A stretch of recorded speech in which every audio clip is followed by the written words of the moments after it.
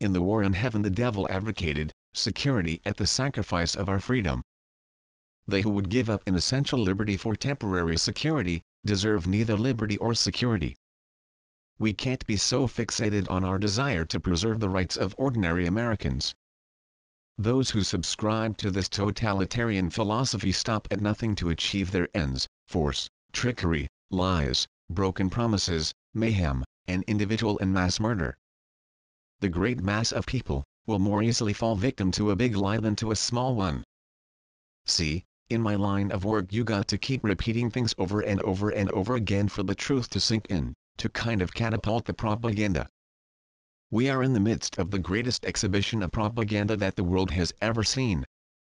Misrepresentation, false propaganda, innuendos soon sprout into poisonous weeds, and before long the people find themselves victims of a pollution that has robbed them of their individual liberty and enslaved them to a group of political gangsters.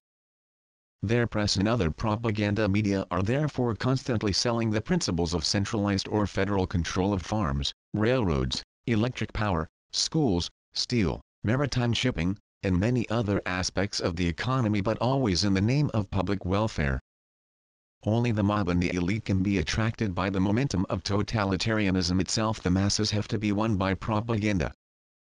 I myself was to experience how easily one is taken in by lying and censored press and radio in a totalitarian state. A steady diet over the years of falsifications and distortions made a certain impression on one's mind and often misled it. A newspaper has three things to do.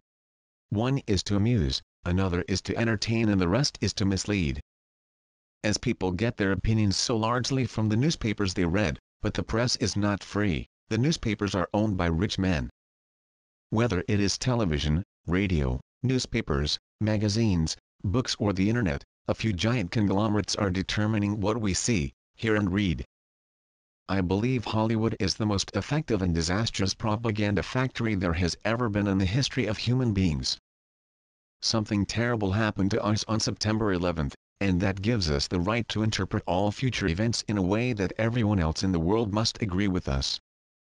September 11 does not justify ignoring the Constitution by creating broad new federal police powers. The rule of law is worthless if we ignore it whenever crises occur. A dictatorship would be a heck of a lot easier, there's no question about it. The same political tenets and philosophies that have brought war and terror in other parts of the world are at work amongst us in America. The proponents thereof are seeking to undermine our own form of government and to set up instead one of the forms of dictatorship now flourishing in other lands. No member of this church can be true to his faith, nor can any American be loyal to his trust, while lending aid, encouragement or sympathy to any of these false philosophies for if he does they will prove snares to his feet. We do not believe in eternal morality, and we expose all the fables about morality. We must win the common people in every corner this will be obtained chiefly by means of the schools, and by open, hearty behavior, show, condescension, popularity, and toleration of their prejudices, which we shall at leisure root out and dispel. The communists have not invented the intervention of society in education they do but seek to alter the character of that intervention. From the fifth grade through the fourth year of college, our young people are being indoctrinated with a Marxist philosophy, and I am fearful of the harvest. Your child belongs to us already, what are you? You will pass on your descendants, however, now stand in the new camp. In a short time they will know nothing else but this new community. Time is everything, man is nothing he is at the most time's carcass. If we open our eyes we will clearly see who they are, and what they are doing. It's what we do next that matters. Our stand for freedom is a most basic part of our religion. This stand helped get us to this earth, and our reaction to freedom in this life will have eternal consequences. Man has many duties, but he has no excuse that can compensate for his loss of liberty. I am convinced that the people generally of the United States have not studied the Constitution, Many of them have never read it, and some know nothing concerning what it is all about.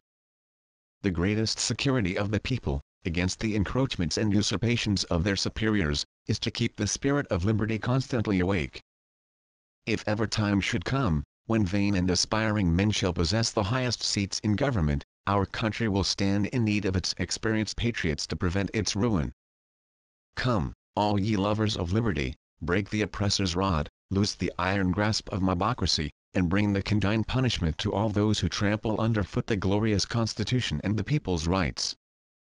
I do not lift my voice against the great and glorious government guaranteed to every citizen by the Constitution, but against those corrupt administrators who trample the Constitution and just laws under their feet.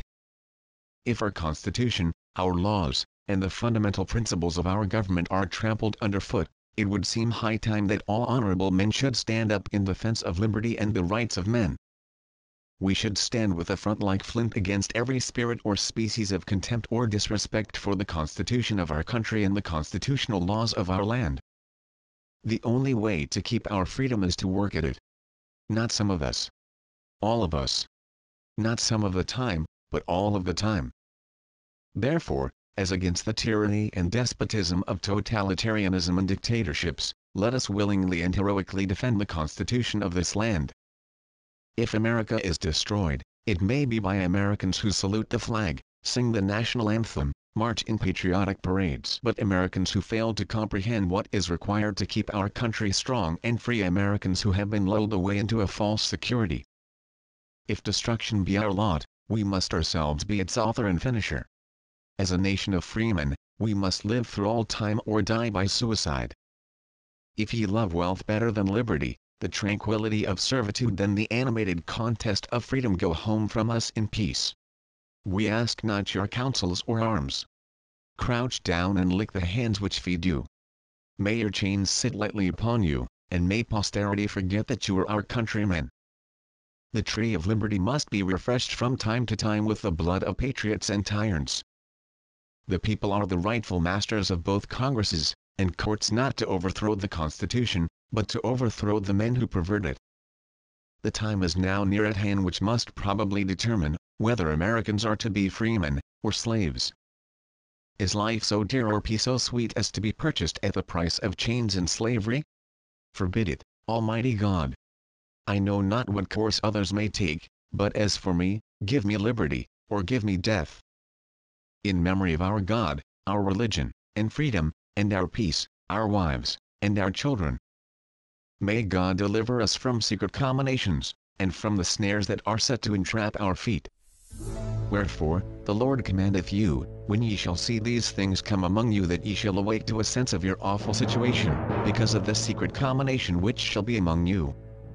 A secret combination that seeks to overthrow the freedom of all lands, nations, and countries is increasing its evil influence and control over America and the entire world. It is high time to wake out of sleep, Suggested reading. Constitutional Studies. The Declaration of Independence. The Constitution of the United States. The Bill of Rights, First Ten Amendments to the U.S. Constitution. The Making of America, by W. Cleon the National Center for Constitutional Studies The Elders of Israel and the Constitution, by Jerome Horowitz Communism aka Social Democracy and Marxism the Naked Communist, by W. Skousen. Manifesto of the Communist Party, by Karl Marx and Frederick Engels. New Lies for Old The Communist Strategy of Deception and Disinformation, by Anatoliy Golitsyn. The Perestroika Deception Memoranda to the Central Intelligence Agency, by Anatoliy Golitsyn. Globalistic Capitalism and New World Order. None Dare Call It Conspiracy, by Gary Allen recommended by Elder Ezra Taft Benson in General Conference. The Naked Capitalist, by W. Cleon Skousen. The Shadows of Power The Council on Foreign Relations and the American Decline, by James Perloff. The Great and Abominable Church of the Devil, by H. Verlin Anderson. Our Awful Situation. Secret Combinations Above Us. Compiled by M. G. Vincent. This presentation is for educational and informational use only. Images and quotations herein are used in accordance with the Fair Use Doctrine as codified in USC 17 Section 107. The views represented in this presentation should in no way be construed as the official position of, nor endorsement by, The Church of Jesus Christ of Latter-day Saints.